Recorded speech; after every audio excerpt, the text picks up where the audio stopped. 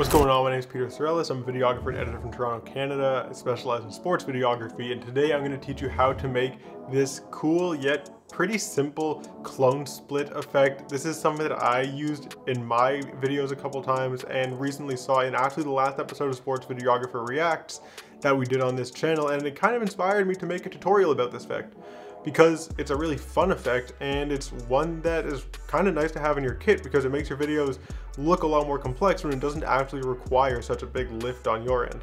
So let's dive into Premiere Pro and After Effects and get this going. So I'm here in Premiere Pro and I've started by just applying a regular color grade from my football video LUT pack, which is available on my website, shameless plug. And we're just gonna play this clip through to see where we're at. And let's actually trim it down to size too. So we have our quarterback, he makes a pass, the receiver dives and makes the catch, and then we get a little bit of a reaction shot here. And we're gonna create kind of a clone split effect right here as the receiver's catching the ball. He'll kind of split off, and then as he makes the catch, right about there, he's gonna split, and all the splits are gonna like come back into himself, and it'll kind of create an impactful effect to place emphasis on this diving catch that this receiver is making. So let's start by actually speed ramping this clip to create a bit of a slow motion right before the catch and then speed up right as this catch is being made to further emphasize that impact of the catch. And then we're going to bring this into After Effects. So I'll turn the color grade off for now just so we can see what we're working with. And let's go show clip keyframes, time remapping, speed. Just right click on your clip to get to this menu. And now we're going to go to where this catch is about to be made, maybe just before, so about here, and then hold command and click, and then we're going to drag to create our speed ramp. This clip is in 60 frames per second, and we're going to set our sequence, if I haven't already, and I haven't, to 23.976 frames per second, so that we can use 40% slow motion. So right here, we're going to slow our clip down, and here the catch is made, so we're going to want to speed up from there. And let's slow this part down to 40%. And just to complement that, we can even unlink the audio, place a couple cuts, move this along, and then play this audio to 40% as well. And we'll just crossfade those. So now we have a bit of a slow-mo effect and the speed up. Now let's set an out point.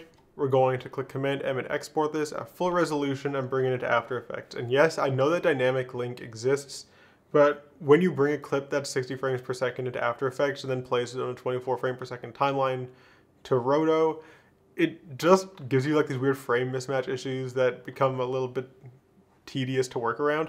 I find it a lot easier to just export a full resolution version here and then bring that QuickTime file into After Effects and work with it over there. Just makes more sense to me. So let's change this. Our format is going to be QuickTime we're going to go Apple ProRes 444, match source, bring our depth up because this is 10-bit footage, use maximum render quality, render at maximum depth, and we'll select our QuickTime Gamma Compensation LUT, and we'll export from there, and I will see you in After Effects. Alright, so we're here in After Effects with our clip that was edited in Premiere and put in slow motion. I'm going to create a composition with it, and we're going to check the composition settings here, and we can see that it's already 4K 23.976 frames per second, which is perfect. So now we're going to go through and right where the slow motion effect kind of begins, we're going to place a marker. So right there is where the slow motion begins. So let's hold Option and click M, which is the shortcut that I've set to create markers in After Effects. I don't think that's the default one, but it's intuitive for me. And then we'll figure out where the slow motion effect ends, which is about there. So Option and M. And between these markers is where we're going to use the roto brush effect. So let's copy this with Command D, and then we're going to turn off the bottom layer, and we'll use Option and the left bracket, and then Option and the right bracket to trim the clip up here to only be the part that we want to roto brush. And you can see because I've had this layer off, there's nothing there. Now we're going to double click into this. For, make sure that for your windows, you're in the effects window. If you go to like the default window or something, your effects won't be there. But click window and then go to the effects window. And then we're going to select this guy up here, the roto brush tool. And then in the layers panel, with the duplicate clip that we've cut down and identified as the area that we want a roto brush selected, we're going to zoom in and select the player who we want to roto brush. And then you can see that the roto brush effect appears here. You want to make sure you're on roto brush version 2.0 and then we're going to just start doing a rough trace of this player. And this is going to be kind of like a stylized, glitchy clone effect, so you don't need to do it perfectly necessarily, but you want this to be pretty good. As you can see, there's a lot of other like legs and just players nearby on this, so we're not getting the cleanest roto ever on this specific clip. When you're picking a clip to do this effect on, you, you ideally want to pick a clip where there's not many other people around the receiver, where you have lots of depth of field and where the receiver is not covered at all. Like there's nobody in front of him who crosses in front of him at any point. So this clip, it's doable, and we're going to do it for this tutorial, but it's not necessarily the fastest clip to apply this effect on. All right, that's fairly good. Now we're just going to let this roto effect go forward and we'll see how well it picks up on tracing this guy. And the answer is not too well. We're gonna have to go back and make some adjustments to that. All right, let's make some adjustments. We'll go frame by frame and just fix these up. So you can see right here between his legs, like he's wearing light blue shorts or light blue pants, and then there's like this whitish light blue sign and these black legs that kind of conflict with the dark jersey. And it's kind of difficult for After Effects to really pick all of that up. But again, this doesn't need to be like perfect, perfect, perfect. It just needs to be decent. All right, well, you kind of understand how like roto brushing works at this point. I'm just gonna do all these frames and I'll check in with you after.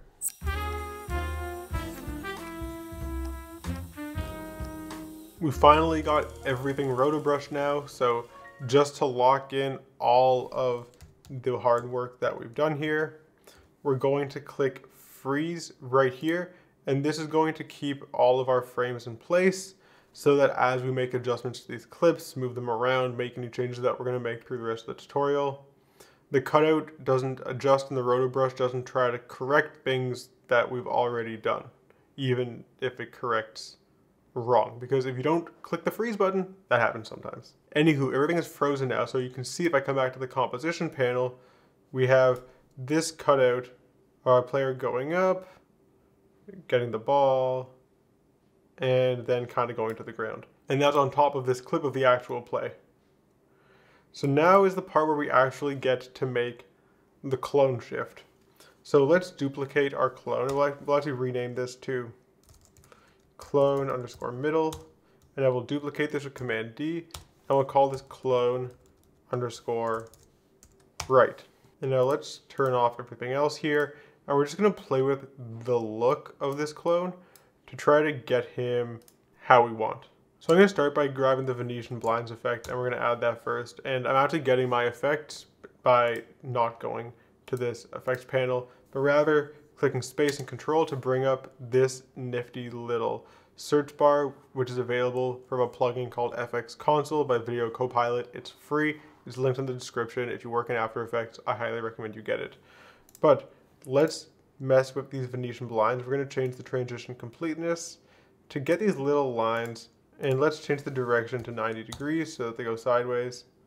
And we can change the width to kind of make these lines like a little, maybe like six. And the transition completeness can vary a bit as well. And this is going to give us a bit of a flickering effect. So now if I hold option and click on transition completeness, it's going to give me the opportunity to write an expression and we can just write wiggle and then we're going to open our brackets and now the first number we write here is going to be our frequency so this is going to determine how many times per second the transition completeness of this Venetian blinds effect is going to change and then the second number that we write is going to be the amplitude which is the parameters in which it can move so let's say we want this transition completeness of the Venetian blinds effect to wiggle 10 times per second then we'll add a comma, and then we'll say how far we want it to wiggle. So we've currently got the transition completeness set to 16%. I'm going to set the amplitude to 10, which means that 10 times per second, the transition completeness is going to wiggle between 6%, which is 10% lower than 16, and 26%, which is 10% higher than 16. So now if we click on that, we can play this through and you can see that we kind of get a little flicker as we go through, where here it's kind of more translucent and here it's less translucent. but I feel like maybe this amplitude wasn't fast enough. Let's try 20. And maybe we need the frequency and amplitude to both be higher. So let's turn that up and then bring this to like 25. So now it'll be very fast and it'll be more noticeable.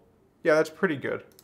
Let's just turn this down a little bit, but I like that range and that speed.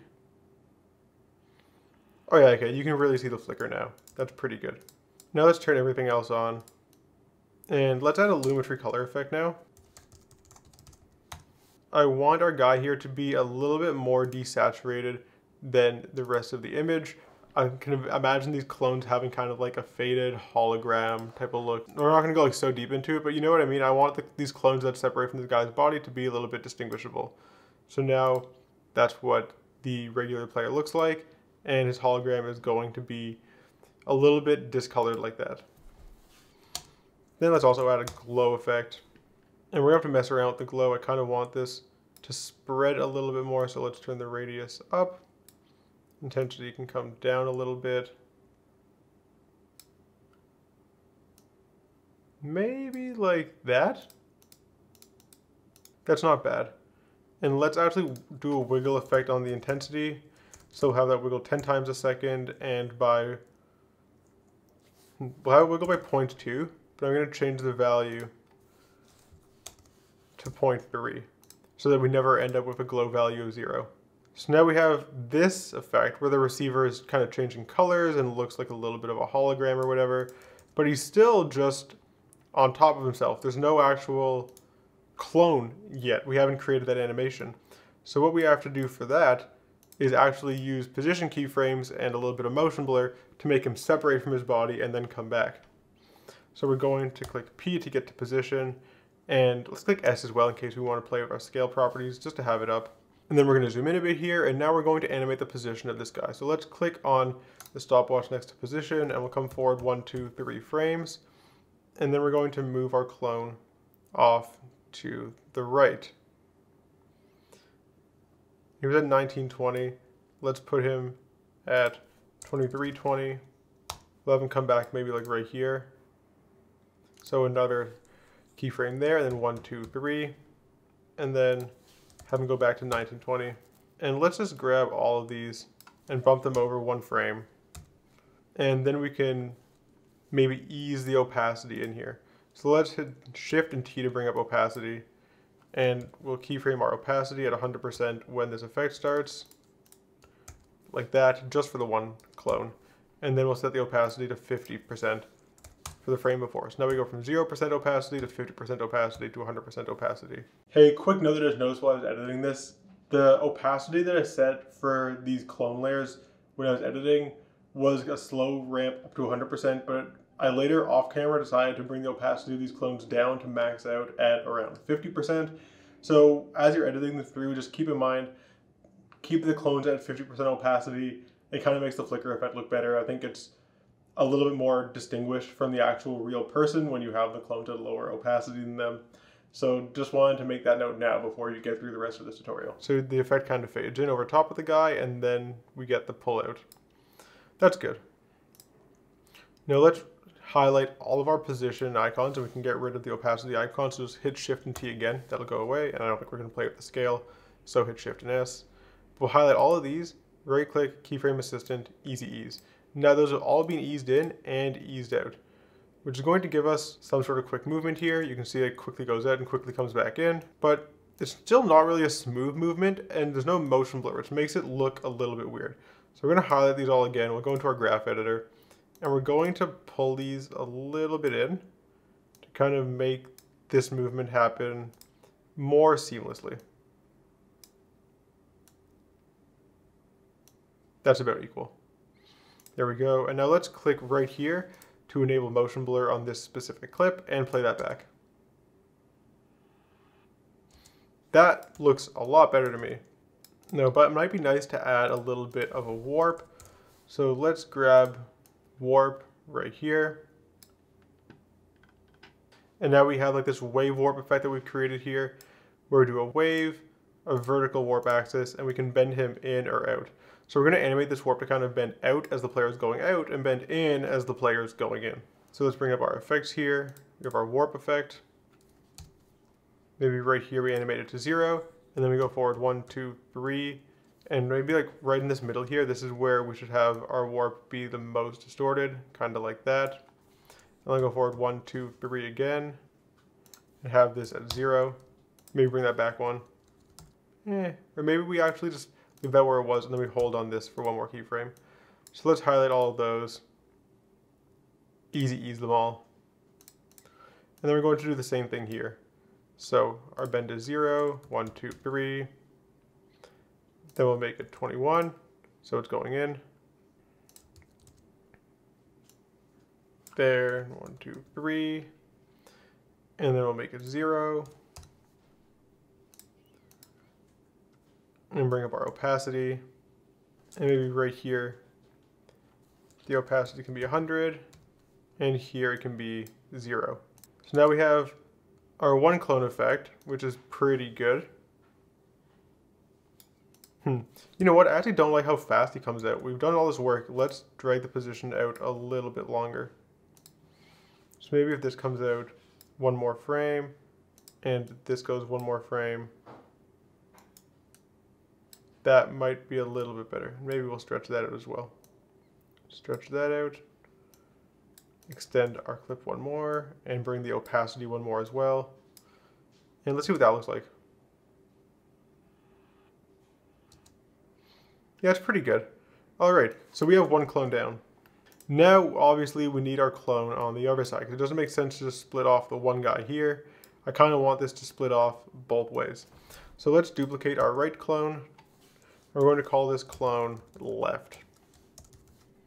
So here you can see we've gone to the right 400 pixels. We're at 2320 instead of 1920. So now we're going to go to the left 400 pixels. So we're going to put in 1520 instead of 1920. This should be 1520. And there's our clone the other way. Now he's going to be bending the wrong way since he's not going to the right, he's going to the left. So let's bring up our warp effect again and we're going to have to change that as well. So the bend here needs to be 21. The bend here needs to be 21. And this bend is going to be minus 21 now change this to minus 21. Now the rest of the animations and everything that we've already done is still with this clip and still makes sense. So this is all just going to work now. And we're going to get those two clones separating and then joining back in at the same time as the catch is made to create a pretty cool effect. So that's most of what we have to do for this effect. Pretty cool, pretty simple. All that's really left to do is bring this back into Premiere Pro and apply the color grade that we already have from my football video LUT pack. And then this is done and this is the final result.